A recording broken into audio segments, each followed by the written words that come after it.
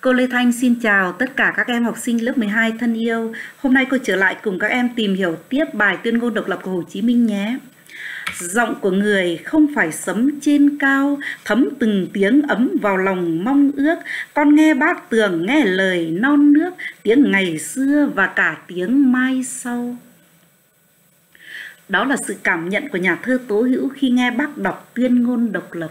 Hôm trước cô cũng cho các em nghe bác đọc phần 1 rồi. À một giọng đọc trầm ấm vang vọng. Nhưng hôm nay do điều kiện thời gian, các em cũng đã đọc và chuẩn bị bài ở nhà rất kỹ, cho nên cô sẽ bắt đầu bài học luôn nhé. À bây giờ các em mở vở ra để chúng ta tìm hiểu tiếp những phần còn lại của tuyên ngôn độc lập. Tiết trước chúng ta đã tìm được à, khai thác xong tiểu dẫn với ba đơn vị kiến thức hoàn cảnh ra đời giá trị văn bản và bố cục tác phẩm. À, trong phần bố cục thì ta đã khai thác xong. À, phần thứ nhất là xây dựng căn cứ pháp lý. Hôm nay chúng ta sang tiếp phần 2 là nêu căn cứ thực tiễn. Trong căn cứ thực tiễn thì có hai loại thực tiễn khách quan và thực tiễn chủ quan. Thực tiễn khách quan là toàn bộ tội ác của thực dân pháp đối với nhân dân ta.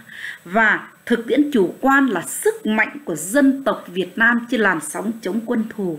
Bây giờ chúng ta đi vào tìm hiểu thứ nhất là thực tiễn khách quan.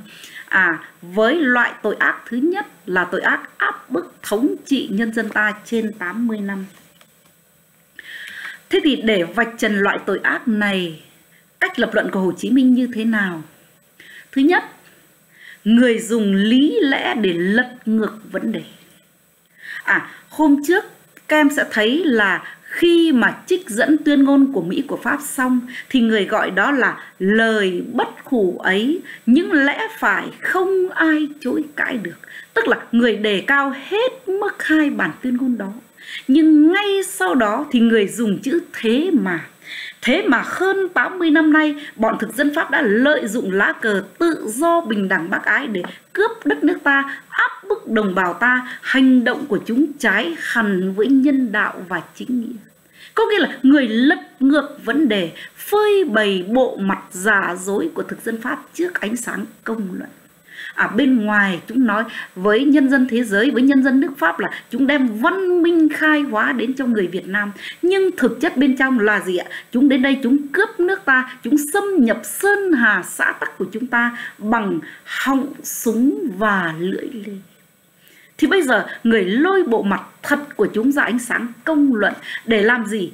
Để dấy lên trong dư luận thế giới một cái làn sóng căm phẫn và tranh thủ kêu gọi được cái sự đồng tình ủng hộ của thế giới cho nền độc lập của Việt Nam. Đấy. Thế nhưng à chỉ đưa lý lẽ không thì đã đủ sức thuyết phục chưa? Chắc chắn là chưa, cho nên người đưa tiếp những bằng chứng về tội ác của kẻ thù. Cách đưa bằng chứng tội ác của người là gì ạ? Ngắn gọn, xúc nhưng lại đầy đủ trên các mặt chính trị, kinh tế, văn hóa và người chú ý làm nổi bật những cái chính sách thâm độc nhất, những cái tội ác dã man điển hình nhất. Người nói ít kể nhiều, kết hợp điệp từ chúng đứng đầu mỗi câu lại sử dụng những cái câu có cấu trúc cú pháp đồng dạng đi liên tiếp nào là à Chúng lập nhà tù chỉ nhiều hơn trường học. Chúng thẳng tay chém giết những người Việt Nam yêu nước thương nọ. Chúng tắm các cuộc khởi nghĩa của chúng ta trong những bề máu. Thế thì cứ liên tiếp liên tiếp như thế Thì làm cho người đọc người nghe tưởng như là cái lời văn buộc tội Như không bắt, không dứt Tội ác của kẻ thù không bút nào kể xiết. Và các em biết trong các loại tội ác đó cô rất ám ảnh với một loại tội, đó là chúng cưỡng bức dân ta dùng rượu, cồn và thuốc phiện. Thế các em biết là nếu bây giờ buôn lậu ma túy là một loại tội phạm nguy hiểm và xử rất nặng rồi nghiện ma túy nghiện thuốc phiện nghiện ma túy. Nó là một cái tệ nạn một cái hiểm họa làm tan nát biết bao gia đình và gây bất an bất ổn cho xã hội. Chúng ta phải kiên quyết đấu tranh để bài trừ nó. Thế nhưng ngày đó thực dân pháp lại cưỡng bức dân ta phải dùng à, chúng dùng à, mục đích của chúng là du ngủ dân ta trong cái hơi men khói thuốc, để cho dân ta vừa suy nhược nòi giống, lại vừa lãng quên cái trách nhiệm với đất nước, với nhân dân. Đó là một chính sách thâm độc dã man, làm cho dân ngu để dễ trị của chúng. Ta còn gọi là chính sách ngu dân. Đấy. cho nên các em nhớ, nếu bây giờ các em, trong số các em ai mà xa vào tệ nạn ma túy? Có nghĩa là các em đã kéo lùi cái bánh xe lịch sử của dân tộc đưa đất nước ta trở về cái thời kỳ mông muội đó. Thì các em không chỉ là kẻ có tội với gia đình mình mà còn là có tội với nhân dân với đất nước. Đấy, các em nhớ điều đó bên cạnh đó thì người tiếp tục sử dụng cái hệ thống ngôn từ, dâu hình ảnh, dâu sức gợi, đậm cái màu sắc văn chương để tố cáo. Chúng thẳng tay chém giết, chúng tắm các cuộc khởi nghĩa của chúng ta trong những bể máu. Rồi là chúng làm cho dân ta sơ xác, nước ta sơ xác tiêu điều thì tất cả những cái ngôn từ như thế, nó thấm vào lòng người một cái mối thù không đội trời chung. Câu văn xúc động thấm vào lòng người cái mối thù đó, mà lời văn buộc tội vẫn đanh thép hùng hồn. Thế thì khi thực dân Pháp lừa dối khoanh ngoang với thế giới chúng có công khai hóa Việt Nam, thì người vạch trần cái tội ác như thế để người chứng minh cho thế giới thấy rằng cái lịch sử khai hóa của thực dân Pháp với Việt Nam đồng nghĩa với lịch sử tội ác. Và từ đó thì người đạt được mục đích lớn đó là bác bỏ được luận điệu xảo trá của thực dân Pháp rằng chúng có công khai hóa Việt Nam. À, bác bỏ công lao khai hóa của chúng đối với Việt Nam. Thế nhưng, thực dân Pháp không chỉ khoanh hoang với thế giới là chúng có công khai hóa cho ta, mà chúng còn lừa dối thế giới rằng chúng có công bảo hộ dân ta. Thì đây, Hồ Chí Minh đưa ngay tội, đưa ngay bằng chứng về tội ác bán nước. Trong vòng 5 năm chúng đã bán nước ta hai lần cho Nhật. Và khi vạch trần cái tội ác này, người dùng một hệ thống ngôn từ dâu hình ảnh, dâu sức gợi tiếp. Đó là gì ạ? Quy gối, đầu hàng, bỏ chạy, mở cửa nước ta rước Thế thì thực dân Pháp chúng tự xưng với chúng ta là chúng là nước mẹ đại pháp là chính phủ bảo hộ là và chúng gọi dân ta là con dân bảo hộ của chúng mà bảo hộ là gì? Bảo hộ là bao bọc là chở che. Ấy thế mà khi phát xít nhật vừa xâm lăng đông dương thì lập tức chúng làm gì ạ? Quỳ gối đầu hàng, mở cửa nước ta rước nhật. Chúng bỏ chạy, chúng thể hiện đúng cái bản chất phản động, đê hèn, nhục nhã.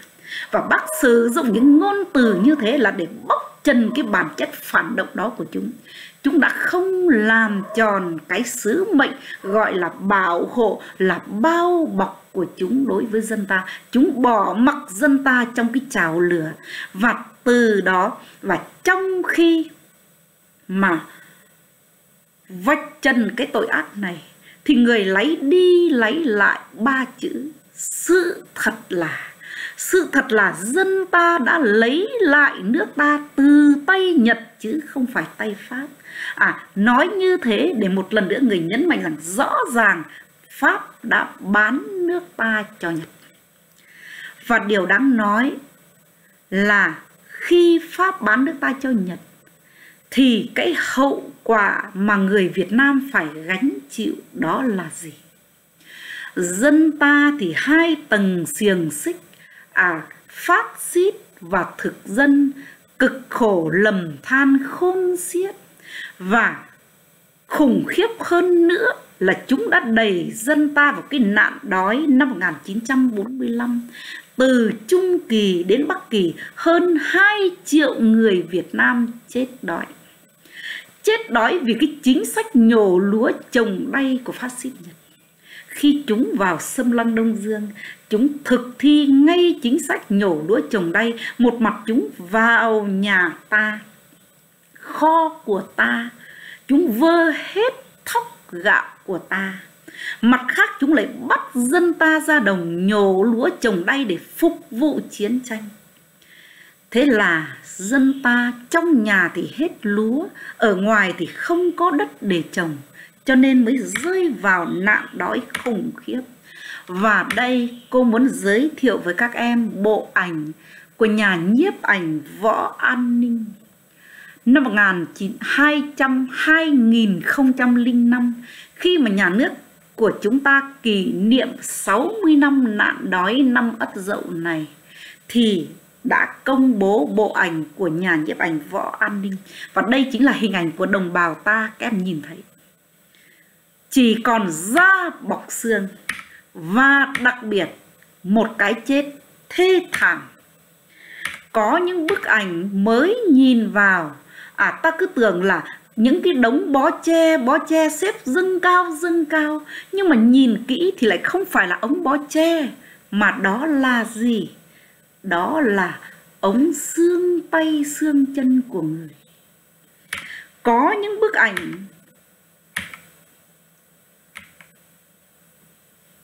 mới nhìn thì ta tưởng là đống sọ dưa nhưng thực tế là sọ người. Và kinh khủng hơn nữa là nó lộ thiên. Có nghĩa là người sống không đủ sức để chôn người chết và cũng không thể có đất để chôn. À, cho nên là trong cái tác phẩm vợ nhặt khi mà kim lân tái hiện cái nạn đói năm 45 này thì nhà văn có viết là không khí luôn vần lên mùi ẩm thối của rác rưởi và mùi gây của xác người. Người chết như ngà dạ. Chính là cái hình ảnh như thế này. Đấy, khủng khiếp. Và cô lại muốn các em quan sát thêm bức tranh này. Đây là bức ảnh phát xít Đức thảm sát người Do Thái. Có liên quan gì không? Em thấy. Tuy hoàn cảnh dẫn đến khác nhau, thế nhưng thực chất, hai bức ảnh cô thu nhỏ đưa vào đây, các em sẽ thấy. Một bên là cái chết đồng loạt của người Việt Nam, nguyên nhân trực tiếp là phát xít Nhật, còn sâu xa lại là do thực dân Pháp bán nước ta cho Nhật còn một bên là phát xít Đức thảm sát người Do Thái.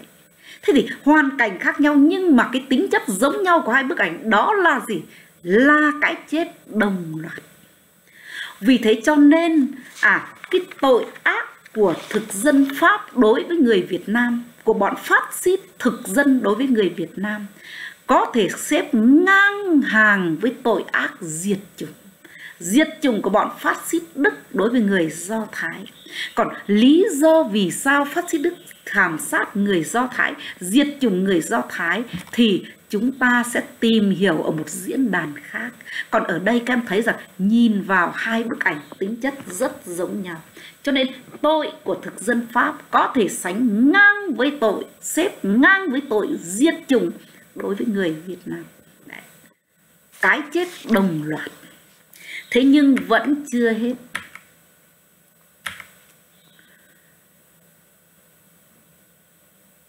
cái nạn đói đó nó gây cái chết đồng loạt cho người Việt Nam. Hơn 2 triệu người Việt Nam chết đói. Nó không chỉ hủy diệt thân xác con người, mà nó còn hủy diệt cả tâm hồn. Cô muốn kể cho các em nghe hai câu chuyện. Câu chuyện thứ nhất, cha hai câu chuyện về cha và con. Và câu chuyện thứ nhất trong cái dòng người lũ lượt bồng bế rất díu nhau từ các địa phương lân cận đổ về Hà Nội để xin ăn. Khi đi qua cầu Long Biên có hai cha con nhà kia. Đứa con trai chừng 13-14 tuổi. Thì người cha cùng lúc phát hiện ở mép thành cầu có một màu format. Màu format nó chỉ nhỏ bằng cái đầu ngón tay có thể ăn được. Người cha lao lại, nhưng mà đứa con nó lại cũng phát hiện ra và sức của nó còn trẻ hơn, nó mạnh hơn cho nên nó lao đến trước. Nó lấy cái miếng ăn đó trước. Thì đúng lúc đó người cha lao đến thấy con đã cầm cái mảnh format rồi. Cho nên thì cha thế nào các đứa? Đập một phát để cái đứa con nó rơi xuống thành cầu lần thứ nhất thì tay của đứa con đó nó đang bám vào được cái lan can thành cầu thì người cha nhẫn tâm đạp phát thứ hai vào tay nó để cho đứa con rơi hằn xuống sông, còn mình tranh cái màu format bằng ngón tay. Câu chuyện thứ hai cũng là cha con nhưng đứa con trai đã 17 18 tuổi Thế thì hai cha con trên đường khất thực đi qua một cái cánh đồng giữa trưa nắng cho nên mới ghé vào một cái gốc cây. Trong cái hành lý của họ còn mỗi lưng ống gạo và cái, cái niêu đất. Hai cha con thổi cơm. Thế thì trong lúc đợi cơm chín, người cha mệt mỏi, vật vờ là đi ở cái gốc cây đó. Thì cái đứa con bỗng nhiên nó lại sinh ra cái dã tâm. Nó muốn một mình ăn cái niêu cơm đó, cho nên nó làm gì các em biết không? Nó lại gần, nó dùng tay nó. Bóp cổ cha nó để một mình ăn cái niêu cơm. Có nghĩa là cái đói. Đã hủy diệt thân xác, nhưng hủy diệt luôn cả tâm hồn con người. Cha con phụ tử không có nghĩa lý gì hết, chỉ có bản năng của con thú trỗi dậy trong con người mà thôi. Cái tội ác và thực dân pháp đã gây ra cho người việt nam nó kinh khủng đến như thế. Và rất nhiều gia đình việt nam lúc đó cha con, vợ chồng ly tán mỗi người một nơi rồi chết ở cái nơi tứ xứ trên cái con đường ăn xin khất thực đó. Và rất nhiều gia đình còn chết cả nhà. Mà cả nhà thời đó là gì? Là 14 15 người. Bởi vì tam tứ đại đồng đường cùng chung sống. Mà ngày đó thì gia đình Việt Nam sinh con rất là nhiều. Đấy. Nó nguy hiểm như vậy. Thế thì khi vạch trần tội ác bán nước này, mục đích lớn nhất của Hồ Chí Minh đó là gì? Người bác bỏ công lao bảo hộ của thực dân Pháp đối với Việt Nam. Chúng đã không làm tròn cái việc chúng gọi là bảo hộ, bảo bọc chở che dân ta, mà đã phó mặc số phận của chúng ta cho bọn phát xít Nhật và chúng cũng chia nhau để mà đè nén áp bức dân ta đẩy dân ta vào cái nạn đói khủng khiếp với một cái chết đông loạt như thế Đấy. À, thế nhưng mũi tên chiến đấu của Hồ Chí Minh vẫn chưa dừng lại à các em biết là trong khi vạch trần tội ác bán nước của thực dân Pháp thì Hồ Chí Minh lấy đi lấy lại nói rằng là sự thật là dân ta đã lấy lại nước ta từ tay Nhật chứ không phải tay Pháp. Rồi dân ta đã lật đầu xiềng xích để mà giành cái, cái chính quyền từ tay Nhật. Chứng tỏ khi ta đã giành chính quyền từ tay Nhật là Việt Nam ta đã trở thành một nước trong phe đồng minh chống phát xít của thế giới. Mà khi Việt Nam đã trở thành một nước trong phe đồng minh thì không thể có kẻ thù nào có thể lấy danh nghĩa đồng minh để nhảy vào đất nước ta mà mục đích là ăn cướp nước ta được nữa. Bởi vì các nước trong phe đồng minh đã có một cái hiệp ước, một cái nghị quyết đã được thông qua là gì ạ? Là phải bảo đảm cái nền hòa bình lâu dài ổn định cho đất nước, cho các nước sau chiến tranh.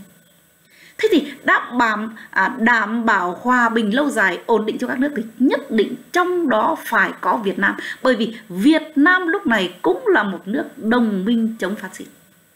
thế thì cái mũi tên chiến đấu này người muốn bắn vào ai mũi tên trực diện người đã bắn vào thực dân pháp rồi thì bây giờ người bắn tiếp vào ai đây đế quốc mỹ thực dân anh và bọn tàu tưởng đều là những tên đế quốc, những kẻ thù muốn lấy danh nghĩa đồng minh để nhảy vào miền đất nước ta, sâu xé đất nước ta bởi vì chúng cho rằng Việt Nam ta là một cái miếng mồi ngon béo bờ để cho chúng có thể ăn cướp được.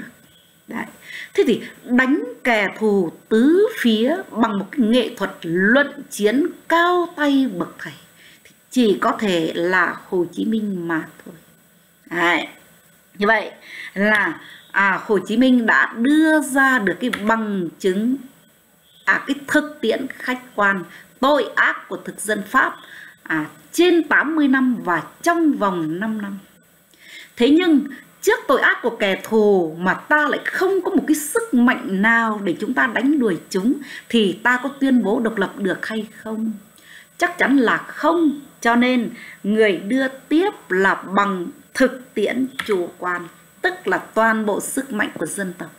Thì trong sức mạnh của dân tộc thì lại có hai loại sức mạnh. Một là sức mạnh chính nghĩa, hai là sức mạnh cách mạng. À khi nêu cao lập luận cho cái sức mạnh chính nghĩa của Việt Nam thì Hồ Chí Minh đã lập luận như thế nào? Đây các em chú ý. Người dùng lối lập luận tương phản đối lập một mặt, người nêu ra những cái tội ác cuối cùng của thực dân Pháp. Mặt khác lại đề cao nhân đạo chính nghĩa của người Việt Nam. Trước ngày 9 tháng 3 biết bao lần Việt Minh đã kêu gọi người Pháp liên minh chống Nhật. Bọn thực dân Pháp đã đã không đáp ứng Lại thẳng tay khủng bố Việt Minh hơn nữa. Và thậm chí đến khi thua chạy Chúng còn nhẫn tâm giết nốt số đông tù chính trị của ta ở Yên Bái, Cao Bằng đó là những cái tội ác dã man tày trời cuối cùng của chúng. Chúng đã không đáp ứng, lại thẳng tay khủng bố và thậm chí khi thua chạy, chúng còn giết nốt số đông tù chính trị của ta. À thế nhưng dù chúng có dã man như thế, thì đồng bào ta vẫn giữ một thái độ khoan hồng và nhân đạo sau cuộc biến động mùng 9 tháng 3, Việt Minh đã giúp cho nhiều người Pháp chạy qua biên thủy, lại cứu cho nhiều người Pháp ra khỏi nhà giam của Nhật và bảo vệ tính mạng tài sản cho họ.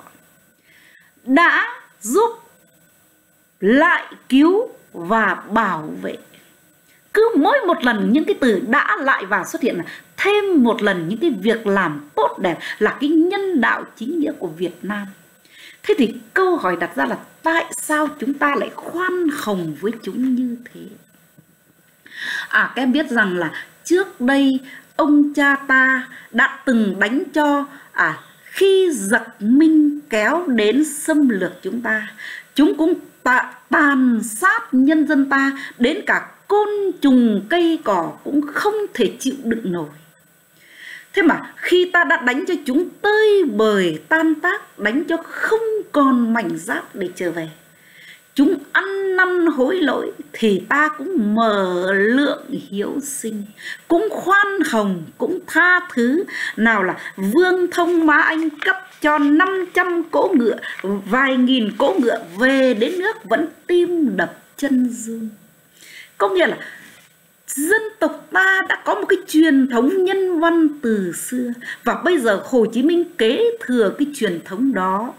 Nhưng mục đích chiến đấu của người thì cao hơn nữa.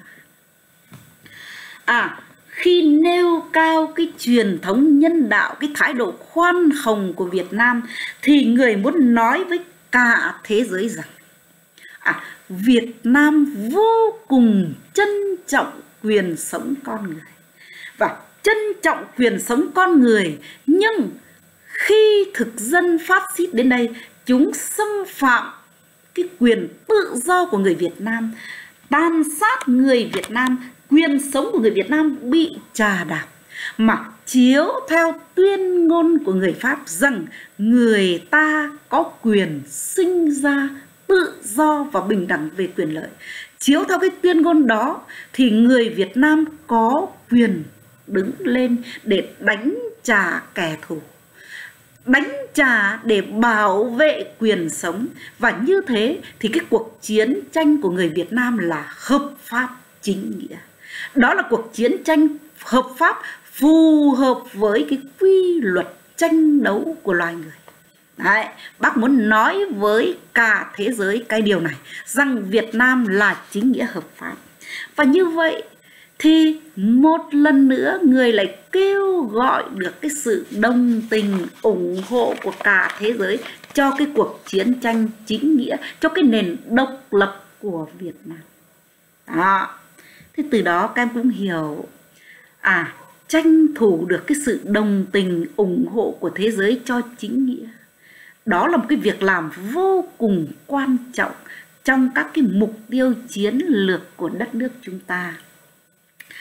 Trong cái thời đại ngày nay, khi mà Trung Quốc vẫn không từ bỏ được cái âm mưu xâm lược Việt Nam à chúng cậy cái thế mạnh à chúng có cái cái cái cái lực lượng hải quân hùng hậu nhất nhì thế giới.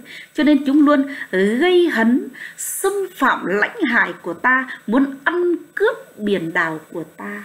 Thì các em lại phải nhớ là người Việt Nam chúng ta yêu nước bằng một cái trái tim nhiệt huyết nóng bỏng, luôn sục sôi cái ý chí đấu tranh.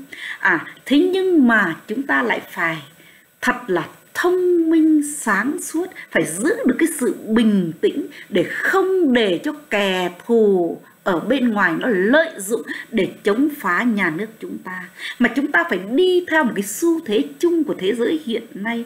Đó là gì? Là đối thoại thay cho đối đầu có nghĩa là phải kêu gọi chúng ta phải kêu gọi được kẻ thù nhận ra được lẽ phải và chúng ta dựa vào luật pháp quốc tế để mà ngăn chặn và kêu gọi bọn chúng dừng ngay những hành động xâm lấn đó.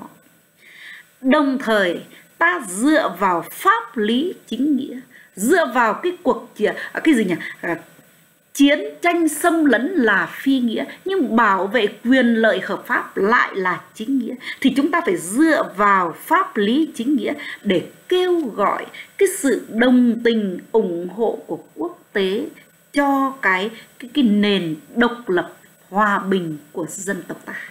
Đấy, thì à, có như thế ta mới đẩy lùi được cái âm mưu xâm phạm xâm lược của chúng và hạn chế đến mức thấp nhất tối đa những cái hành động à, xâm lăng bất hợp pháp của chúng trên biển đối với ta Đấy.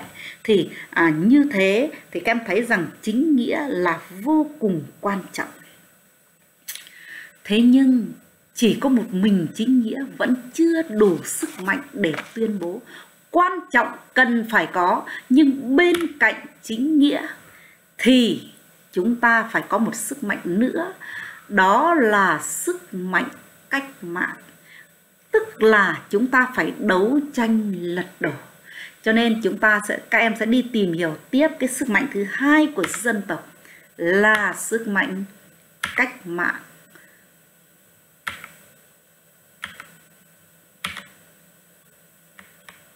À sức mạnh cách mạng. Thế thì khi nói về sức mạnh cách mạng thì Hồ Chí Minh có hai hình thức lập luận. Thứ nhất, người dồn nén thông tin. Thứ hai là người kéo giãn trường kỳ tranh đấu của người Việt Nam. Vậy thế nào là dồn nén thông tin? Pháp chạy, Nhật hàng, vua bảo đại thoái vị. À, cái lịch sử đấu tranh hàng trăm năm chống chủ nghĩa thực dân phát xít của Việt Nam. Cái lịch sử à chống lật đổ ngai vàng phong kiến cũng kéo dài hàng nghìn năm. Bây giờ người thâu tóm dồn nén trong một câu văn, Pháp chạy nhật hàng vua bảo đại thoái vị. Nhưng trong thực tế thì các em lại thấy rằng để giành được cái thành quả này, Pháp chạy nhật hàng bảo đại thoái vị thì để giành được cái thành quả đó thì thực tế người Việt Nam của chúng ta, dân tộc ta đã phải đổ cả núi xương sông máu. Biết bao nhiêu là mất mát hy sinh của thế hệ cha ông mới giành giữ được. Nhưng bây giờ bác gạt bỏ, gạt bỏ cái phần đau thương đó để dồn nén thâu tóm cái lịch sử hàng trăm năm, hàng nghìn năm đó trong một câu văn cô đúc ngắn gọn mà lại chỉ có chiến thắng không thôi. Thế mục đích của bác là gì? Bác muốn nói với cả thế giới rằng sức mạnh của Việt Nam lúc này là sức mạnh vô biên, vô tận, đánh đâu thắng đó nó cũng giống như là cái sức mạnh của ông cha ta trước đây, đánh một trận sạch không kình ngạc, đánh hai trận tan tác chim muông Đấy. sức mạnh đánh đâu thắng đó để dâm đe kẻ thù nếu anh đến đây xâm phạm tôi tôi sẵn sàng đánh cho anh tơi bời tan tác Đấy. đó là cái lời dâm đe tuyên tuyên chiến thứ hai người lại kéo giãn cái trường kỳ tranh đấu của người Việt Nam. À, thực ra thì à cái xiềng xích thực dân phát xít trên đất nước ta, đô hộ đất nước ta thực tế là 87 năm. Từ năm 1858 cho đến kết thúc là 1945. Đó là 87 năm. Nhưng bác lại không nói là 87 năm Bác cũng không nói là trên 80 năm Mà người lại nói là gần 100 năm và tương tự như vậy thì cái chế độ quân chủ trên đất nước ta là một nghìn năm, mười thế kỷ nghìn năm. Nhưng bác cũng không nói bằng con số nghìn năm mà bác lại nói là mấy mươi thế kỷ. Mấy mươi thế kỷ. Thế thì cái trường kỳ tranh đấu vốn đã dài bác lại kéo cho nó dài thêm thế người có dụng ý gì ở đây? Bác muốn nói với thế giới rằng việt nam vô cùng yêu chuộng hòa bình độc lập tự do. Vì cái khát vọng độc lập tự do cháy bỏng mà người Việt Nam không sợ khó, không sợ khổ, không sợ dài lâu. Việt Nam không hiếu chiến nhưng lại sẵn sàng thiện chiến, quyết tranh đấu đến cùng để giành giữ cho được cái nền độc lập tự do đó. Và sự thật Việt Nam đã giành được độc lập tự do cho mình. Đấy, mục đích người nói với thế giới như vậy. Và để cái điều này được khẳng định chắc chắn hơn nữa thì Hồ Chí Minh đã lập luận theo quan hệ nhân quả móc xích ba sự kiện vào nhau. Thứ nhất, Pháp đã bán nước ta cho Nhật thì Việt Nam thành thuộc địa của Pháp chứ không phải Việt Nam thành thuộc địa của Nhật chứ không phải của Pháp nữa thì Việt Nam có quyền chấm dứt quan hệ với thực dân Pháp. À, thứ hai là Nhật đã đầu hàng đồng minh, Việt Nam giành được chính quyền thắng lợi thì có nghĩa là Việt Nam đã đánh đổ được chế độ thực dân phát xít để lập nên một nước Việt Nam độc lập. Và thứ ba là vua Bảo Đại thoái vị, tức là Việt Nam đã lật đổ được ngai vàng phong kiến mà lập nên nước Việt Nam dân chủ. Thế thì từ ba cái bước lập luận đó người đi đến khẳng định rằng à nước Việt Nam độc lập dân chủ ra đời là một sự thật không một sự thật lịch sử không ai chối cãi. Đấy. Sau khi nêu đầy đủ cái sức mạnh đó thì người đi đến tuyên bố tay đôi với thực dân Pháp. Thoát ly hẳn, xóa bỏ hết, xóa bỏ tất cả.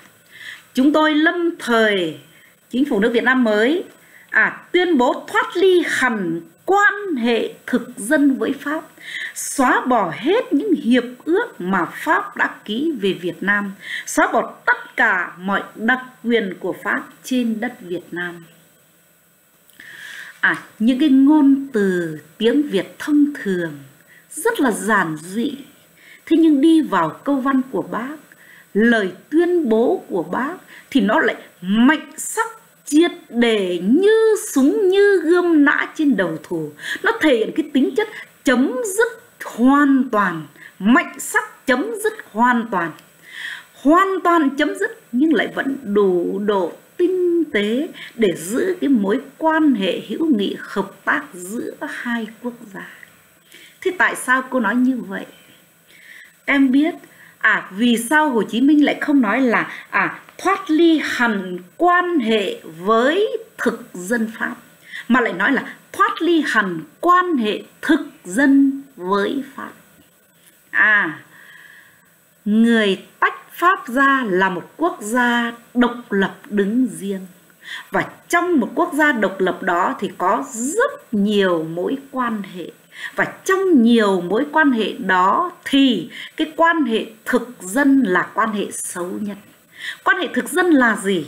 Là cái quan hệ nô lệ thuộc địa đặt ách nô lệ thuộc địa cho các nước khác để mà bóc lột. Đó là quan hệ xấu. Thì bác tuyên bố là thoát ly hẳn quan hệ thực dân với pháp, là thoát ly cái quan hệ xấu đó. Còn lại các mối quan hệ tốt đẹp khác Việt Nam vẫn giữ và Việt Nam khẳng định rằng Việt Nam và Pháp vẫn có thể làm bạn với nhau.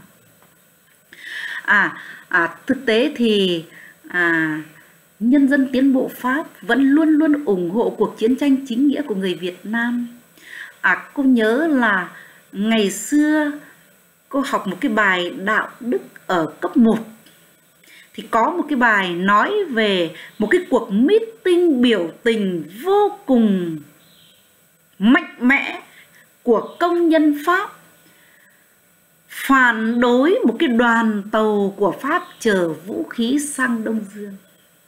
Thế thì giữa một cái biển người như thế, nhưng họ lại đứng hai bên và ở giữa là đoàn tàu đang chạy trên đường dây. Thế thì khi mà cái đoàn tàu đang rầm rộ tiến tới như thế thì chị Ray Mông Điên, một nữ công nhân Pháp đã dũng cảm nằm ngang trên cái đường tàu đó. Mục đích là chặn cái đoàn tàu, không cho chúng chở vũ khí sang Đông Dương, sang nước ta nữa. Và các em biết điều gì xảy ra không? Năm 2007 thì bà Ray Mông Điên đã sang thăm Việt Nam. Điều đó có nghĩa là trước cái làn sóng biểu tình quá dữ dội của công nhân nước Pháp và cái hành động dũng cảm của nữ công nhân đó thì đoàn tàu chở vũ khí đã phải dừng lại.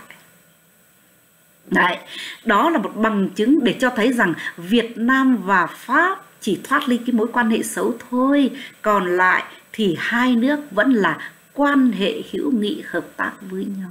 Thì đây là một cái nhìn rất là là nhìn xa trông rộng của những nhà chiến lược tài ba. Đấy.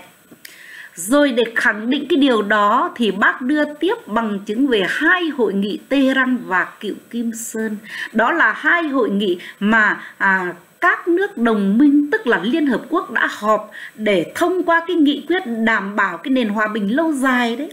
Thì đảm bảo hòa bình lâu dài cho thế giới thì đương nhiên cũng phải đảm bảo hòa bình lâu dài cho Việt Nam.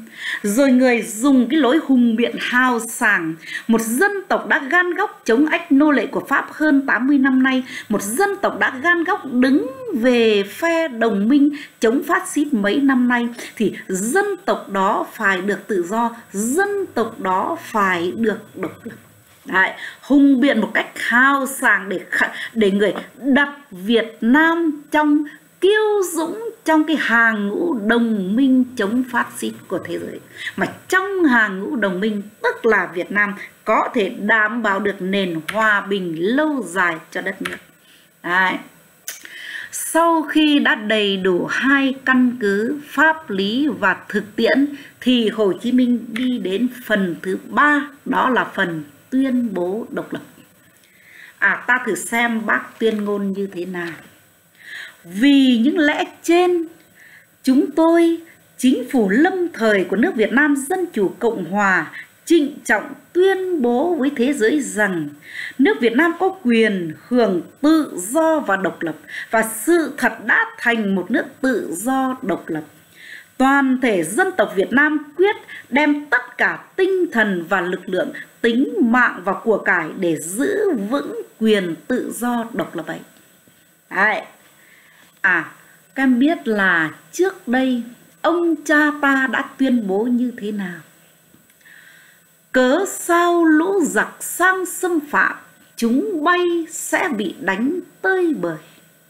Lý Thường Kiệt tuyên bố độc lập bằng một lời thách thức tuyên chiến với kẻ thù.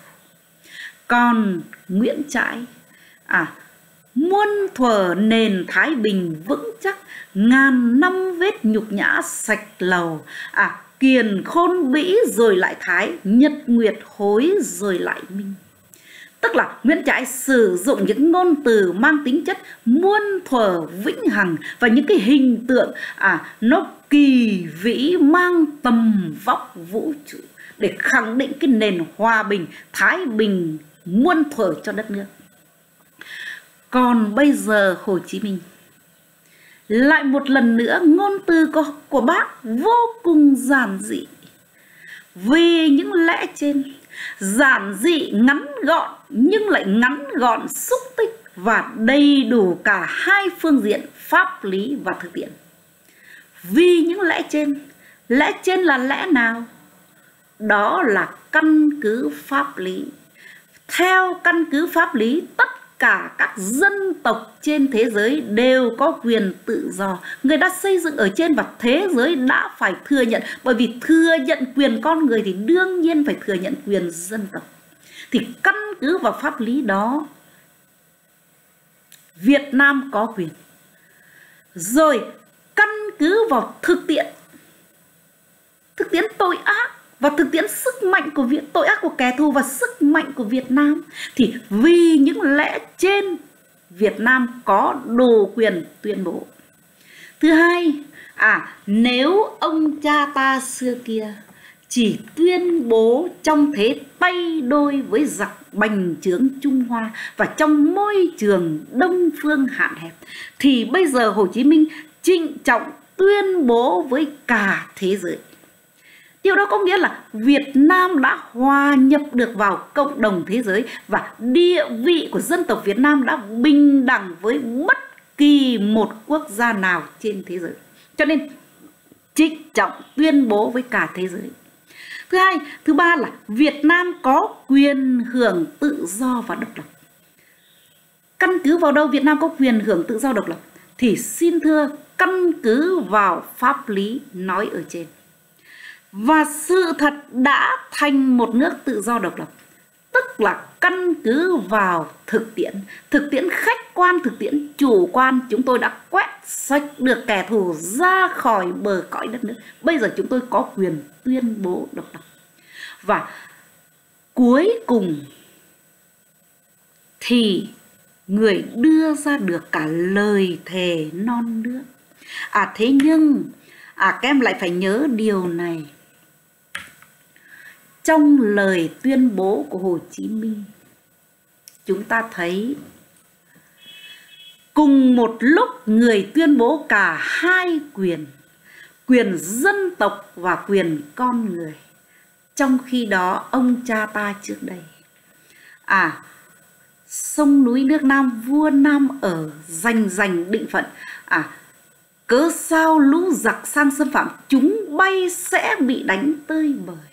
Xâm phạm là xâm phạm bờ cõi đất nước thì chúng bay sẽ bị đánh tơi bời. Như thế là lý thường kiệt tuyên bố về quyền độc lập. Nguyễn trãi cũng nói là muôn thuở nên thái bình vững chắc cũng là thái bình cho đất nước, tức tuyên bố quyền dân tộc. Ông cha ta không tuyên bố quyền con người. À ngay khi mà đánh đuổi được kẻ thù ngoại bang rồi, thì nhân dân ta lại trở về với cái cuộc sống là gì? Là bị áp bức bởi tầng lớp thống trị phong kiến. Cho nên quyền con người không được đảm bảo. Thì bây giờ ở thời đại mới chúng ta đã thực hiện cùng một lúc hai nhiệm vụ phản đế và phản phong cho nên người cũng tuyên ngôn hai quyền quyền dân tộc và quyền tự do dân chủ của con người cái quyền dân tộc là kế thừa của ông cha, còn quyền tự do của con người, đó là một bước tiến vĩ đại của thời đại hồ chí minh Đấy. như vậy cô đã giới thiệu với các em và cô trò chúng ta đã đi tìm hiểu, khai thác được toàn văn tuyên ngôn độc lập và mục đích cuối cùng Hồ Chí Minh đã đạt được đó là tuyên bố được độc lập chủ quyền cho đất nước. Đấy.